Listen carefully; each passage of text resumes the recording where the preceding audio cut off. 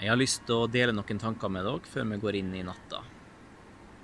Det blir fortalt at eh, Ole Paus en gang fikk spørsmål fra en journalist om han var en troende. Troende, skal Paus ha svart. Jeg er vel mer enn klamrende. Jeg er pappa til tre små jenter. Og for to år siden så fikk ei av jentene våre, som den gangen var ett år, kokende vann nedover brystet og halsen sin.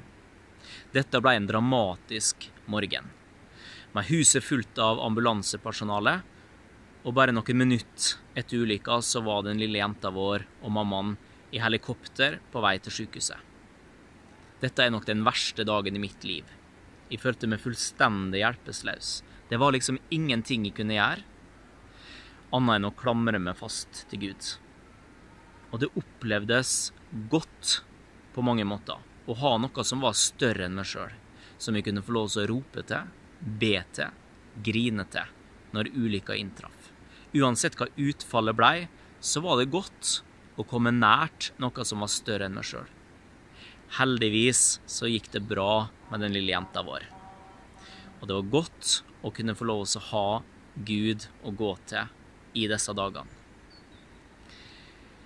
Nærmere deg, min Gud, nærmere deg.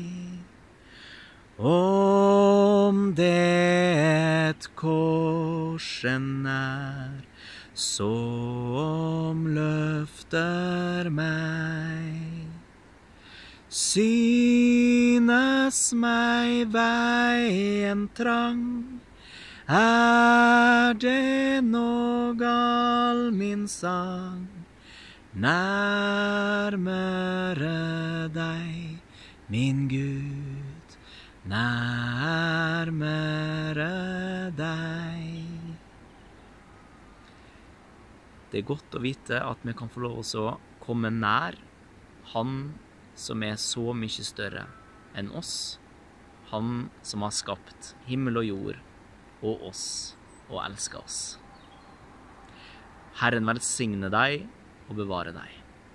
Herren la sitt ansikt lyse over deg og være deg nådig.